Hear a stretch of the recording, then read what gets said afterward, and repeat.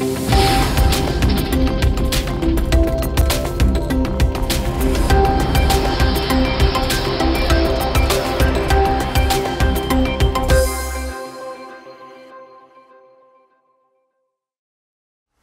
say that champions don't do one thing 100% better, they do 100 things 1% better than their competition.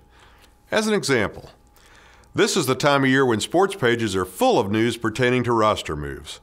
Professional teams are deciding which players to place on their active rosters. Teams are pursuing new talent both through free agency and player drafts. All teams are seeking players who are either capable of greater performance than the existing roster member or one that is comparable in talent that comes at a lower cost. Even last year's champions recognized that rosters can always be improved. In many ways, I'm not sure that the flooring business should be viewed differently. Now would be an excellent time to review your team's roster. Do you have a prima donna on staff that can produce the numbers but is killing the team's chemistry? Is there a promising rookie that just needs the chance to play? Is your staff overloaded with the steady eddies of the sales world that are good, just not quite good enough? If so, remember that nothing great is ever accomplished at the OK level.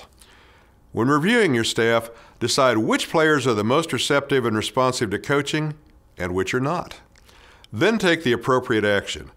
For just as in sports, inactivity should not be an option. Every day, your team is either moving up or down in the standings. In which direction is your team trending?